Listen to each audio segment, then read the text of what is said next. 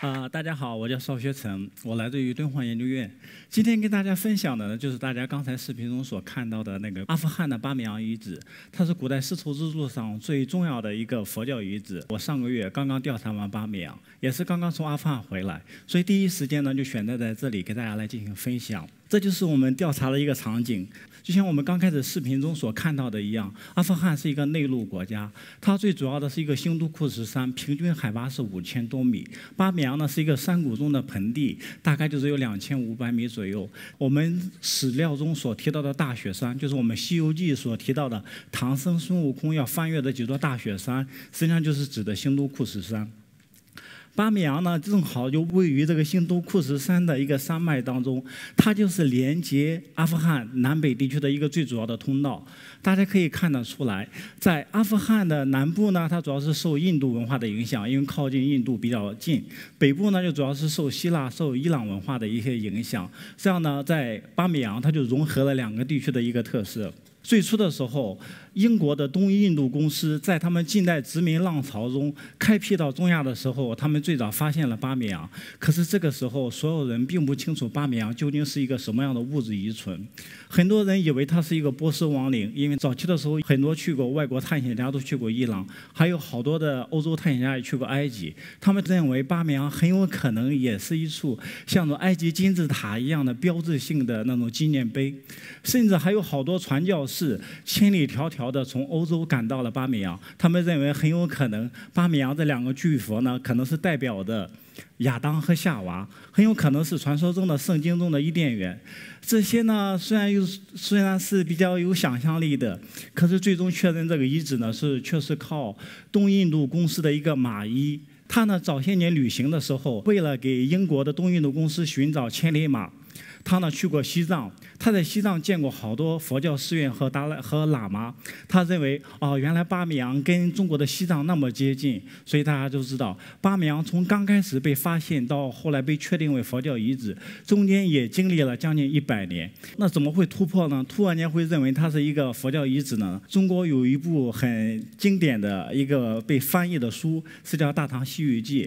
在最早的时候呢，《大唐西域就》最早被翻译成被传教士翻译成了各国的语言，比如说法语、英语。在这种语言的传播中，大家知道了原来。呃，玄奘的描述不仅是包包括中国新疆敦煌地区的，甚至还包括好多其他地区的啊、这些东西。这就是一个英译本的《大唐西域记》。早期的欧洲的考古学家还有他们探险者，正是依靠着这一本书，才逐渐的拼合上了关于呃中亚的印象。关于阿富汗的研究，正如我之前跟大家提到的，截止到现在已经将近有一百年了。从一九二二年开始，一直到现在，我们可以知道，在这么多年中，我们的研究可以分为几个主要的阶段。从一九二二年到一九五二年是法国人主要做的调查，他们这三十年当中呢，对巴米扬的各个石窟进行了简略的、粗略的一个调查。在那之后呢，呃，又变成了日本、美国、意大利。因为最初的时候，前三四年法国人是不允许其他国家进入调查的。在一九五二年之后，这个限制才慢慢的。才慢慢的放松了，呃，日本人才有了机会去。后来，国际上、世界上各个国家都进入这个地方来进行调查。为什么我们中国人一直没有去调查呢？一九五八年的时候，我们中国本来也派遣了一支文化调查团过去，那个时候是主要是担任文物事业的郑振铎先生，他们带了一支代表团过去。可是不幸的是，这个飞机坠毁了，代表团的成员全部都罹难了。这本书呢，后来的时候，在一九八四年的时候，是被敦煌研究院的院长常书鸿先生翻译出来，然后介绍给了大家。下面还提到了另外一个人，叫耿生先生。耿生先生也是翻译了大量的丝绸之路的一些著作。很可惜的是，四天之前，耿生先生也是逝世了。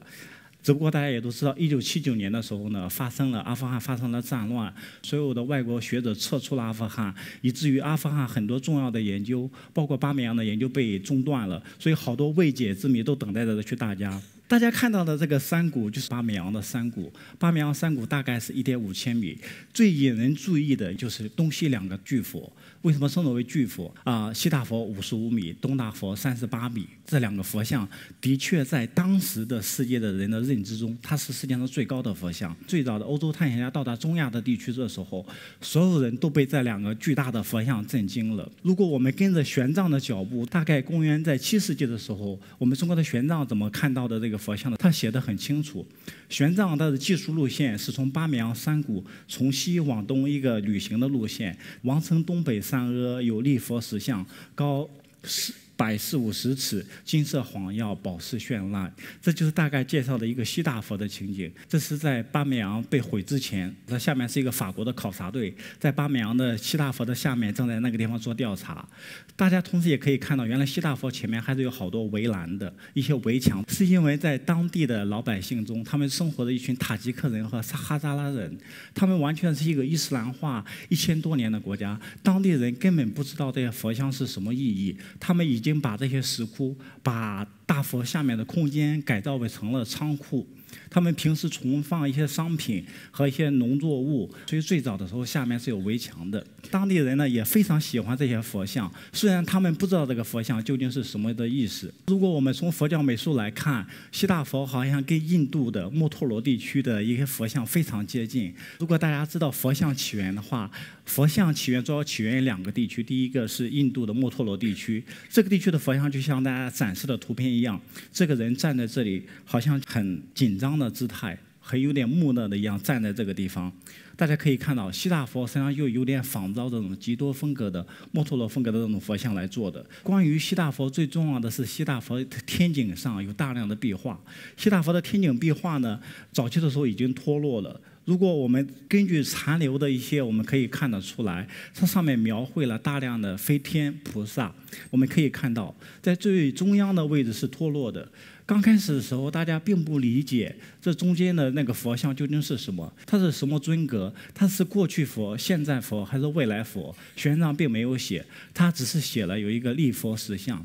根据后来龚自昭老师的研究，他认为很有可能这个代表着未来佛。根据佛经的记载，未来佛的身体会非常大，很有可能就符合佛经中的某些记载。所以说呢，上面就描绘了一个弥勒佛、弥勒菩萨的一个兜率天的世界。西大佛的壁画，我跟印度的艺术造像风格非常接近，我们就可以知道，从印度起源的部分佛教美术，通过西亚传到了中国，甚至传到了我们的东亚地区。大家看到图片就会看到的很清晰，是不是？都是有点稍稍微微低头的这种姿势，还有他们的这种颜色的运用都是非常接近的。但是现在你去看西大佛的话，是基本上没有任何内容的，因为塔利班当时毁掉了一切的东西。西大佛当时被爆炸了两次，这两是巨大的冲击波已经毁掉了所有的壁画。大家看到的这些有些脚手架呢，是因为现在去调查非常危险，他们那个山体岩石整个都被炸虚了，经常会发生一点小规模的地震，会脱落下来好多岩石，所以说就要用脚手架把它都给固定住。讲完西大佛，然后我们根据玄奘的一个旅行路线，他就走到了东大佛。他是这样说的：其南东有土石释迦地佛像，高百余尺。这时候的百余尺换算成现在应该是三十八米。这就是大家看到的一个东大佛的佛像，它好像更加接近于一个类似于犍陀罗佛像，一个希腊化罗马风格造像。关于希腊化。大家想到的第一一个好像可能是奥林匹克运动会，更高、更快、更强。希腊人做雕塑的时候，他们往往也会选择做一点带有运动姿态的一些佛像。所以说，大家可以看得出来，这个东大佛，他的两个腿是一个放松、一个紧张的，他所有的重心都放在一只腿上。这个时候，大家可以看一看，很典型的膝盖，看到没有？他的右膝盖是往前伸的。所以它的重心都放在左腿上。同时，大家看一看犍陀罗的佛像是不是？所以说，这是一个希腊艺术的一个典型的特征。他们所有的人都好像要往前迈出一步一样。在东大佛的天井壁画上，却有着更加奇妙的地方。在东大佛的天井壁画上，却发现了一幅跟佛教内容没有太多相关的壁画。正中央的，大家可以辨识出来，好像是一个太阳神。同时，在太阳神的两边，还有一些佐罗亚斯德教的一些。祭祀在旁边。所谓佐罗亚斯德教，就是起源于古代波斯地区的一种宗教。我们中国往往把它称为显教或者拜火教。在显教和拜火教的图腾下面，还有两个希腊式的神。大家可以看到，有翅膀的就是大家最为熟悉的呃胜利女神呃耐克，对不对？实际上，不仅在西亚地区，在印度都有这种太阳神的崇拜。为什么其他宗教的神格会出现在了一个释迦牟尼佛像上面的天井壁画上呢？有些人说这是宗教文化交流，代表着当时巴米扬人有一个很宽容、很开放的心态，他们可以接纳任何宗教进入巴米扬地区，的确是可以这样理解的。但是呢，我们同时也可以知道更多的一些原因。很有可能当时佛教在传入巴米扬地区的时候，佐罗亚斯德教当地的信仰已经有了一部分的美术审美，还有一部分的造像意识。他们只不过后来接纳了佛教。最初他们和佛教发生了融合。讲完两个最巨大的佛像，好多人都会有一个疑问：那究竟是谁建立了这两个大佛像？大家想一想，建立一个佛像这么巨大的一个工程，在古代做这样一个工程需要哪些必要条件？首先就有三个：第一个要有巨大的经济实力，对不对？一定要有钱去做这些事情。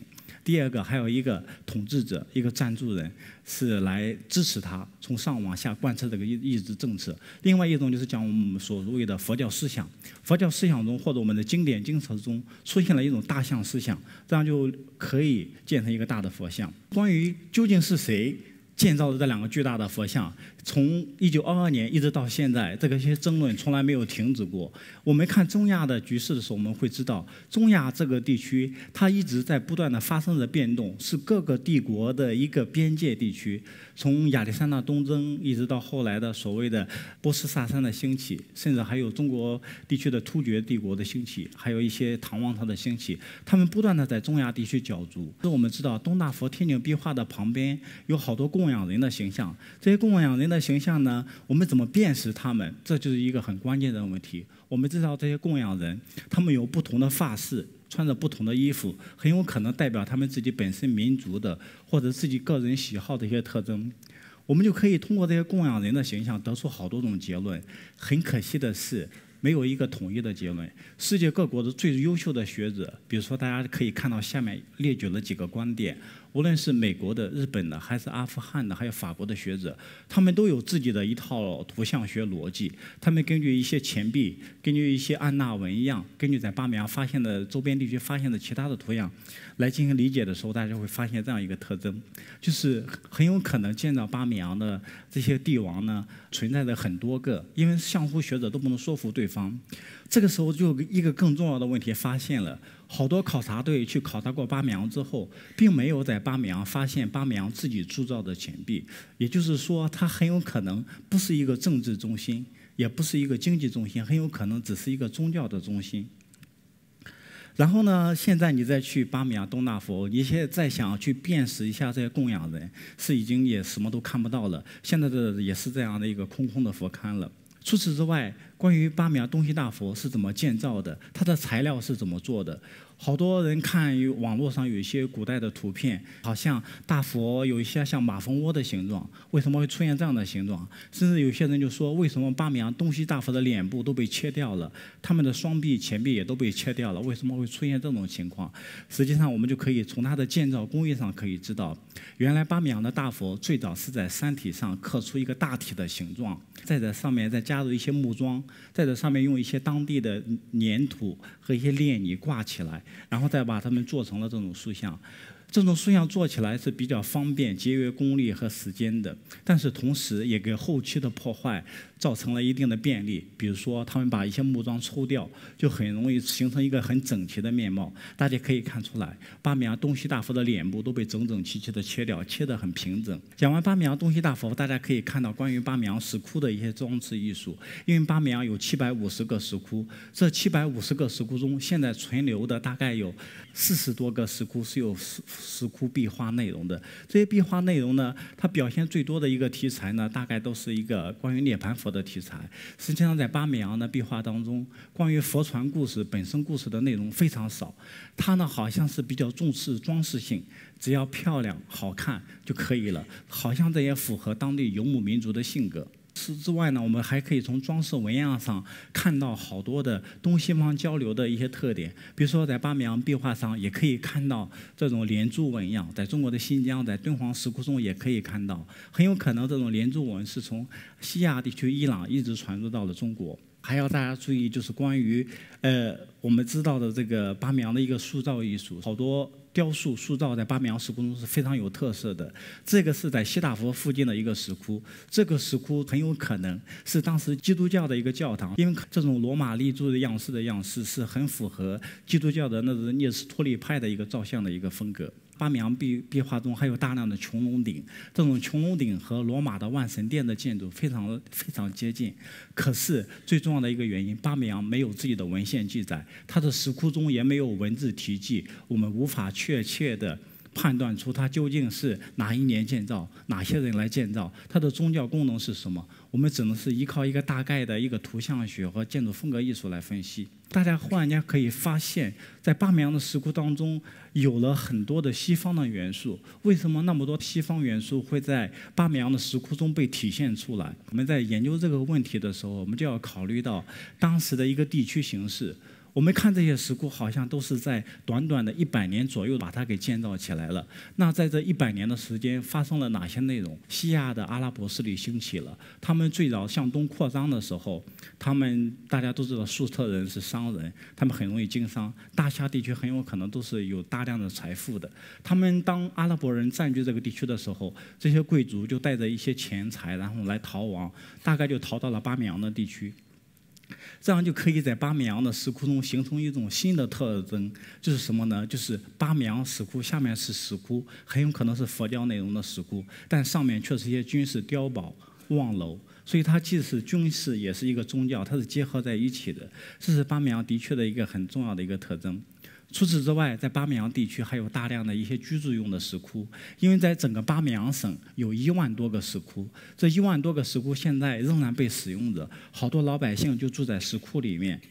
大家可以看到，他们不仅住在石窟里面，他们还同时把这些石窟用作自己的坟墓，做自己的仓库，做仓储用。嗯，现在的巴米扬的石窟管理员，他仍然会住在这石窟里面，这就是他的卧室。当然，即使是这样，我们讲的仍然是关于巴米扬一个山崖上的佛像，还有他的这一些石窟建造。但是。大家不要忽略了，巴米扬是一个山谷，巴米扬山谷中还有没有发掘的东西？因为在此之前虽然进行了大量的研究，正当大家需要验证资料去寻找新的证据，从地下挖出来新的东西来验证他们的研究的时候，这个时候苏联入侵了阿富汗，紧接着阿富汗的局势就越来越糟糕，以至于到后来大家都知道发生了很悲哀的事情。就是巴米扬东西大佛被炸毁了，大家也知道，巴米扬被毁了之后，就形成了两个空空的佛龛，大量的巴米扬塑像壁画全部被毁掉了。好多人很悲哀地认为，好像巴米扬没有什么可以研究的，因为巴米扬被毁了，好像巴米扬的佛教美术、宗教考古已经截止了，但并不是这样的。大家知道，科技考古现在非常重要。我们可以根据这些碎片，我们进行科技检测。原来我们都是根据考古学、美术史的内容，现在我们可以用最新的科技来检测它们。于是大家就知道，可以看得清楚来了。就是关于东西大佛究竟是什么时候建造的，它的石窟的侧年原来是六到七世纪建造的。在二零零三年的时候，联合国教科文组织也把巴米扬确定为了世界文化遗产。同时呢，它的范围已经扩大了。大家可以看到右上边。右上边的时候，这个地方就是大家传统的巴米扬的山谷是这个位置，东西大佛在这个位置。可是大家可以看得出来，巴米扬的文化遗产已经被延展到周边地区了。这些地区就是我给大家提到的，有大量的碉堡、大量的望楼、大量的城塞设施的那些地区。所以巴米扬的研究呢，也一下子被扩大了。如果我们再重新再看巴米扬的时候，我们忽然发现，在玄奘的记载中，好多山谷当中的伽蓝还没有被发掘出来。这好像还是比较真，还比较值得期待。于是很多考古学家，他们重新又纷纷的返回到了阿富汗，返回到了巴米扬。在这里给大家介绍的是一个原来阿富汗的考古局的局长塔赫兹。他年轻的时候，他博士论文就是写的巴米扬的石窟。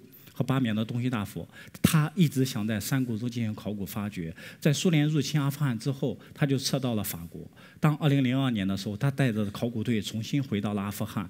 他呢，根据玄奘的记载，在里面就找到了当时巴米扬提到的大都城，找到了寺院伽蓝遗址。然后呢，在这里面呢，他就发现了好多丰富的资料。原来玄奘记载的大都城是一个封建化的城市，里面有自己的工作坊。同时，山谷中的寺院的发现非常令人惊讶。原来山谷中的寺院年代学甚至比东西大佛、比那些石窟还要早，它甚至可以找到三世纪。而且这些三世纪的寺院的样式也是受希腊化文化的一个影响，是一个犍陀罗风格的寺院。在这个寺院旁边，玄奘记载的长千余尺的涅槃佛也被发现了。大家都知道，这个涅槃佛好像千余尺，大家想。东大佛百余尺是三十八米，那千余尺是不是三百八十米？可是塔赫兹的发现的涅槃佛只有十几米，为什么会出现这样的误差？等待着大家以后去研究。发现涅槃佛的同时，呃，塔赫兹还发现了一个更大的一个建筑。原来巴米扬山谷当中还存在着一个大塔，这个大塔是一个十字形的大塔，大家看到没有？佛塔，Number One 一号大塔。这个大塔究竟有多高？如果根据建筑比例来推断的话，这个塔最有可能是六十到七十米之间。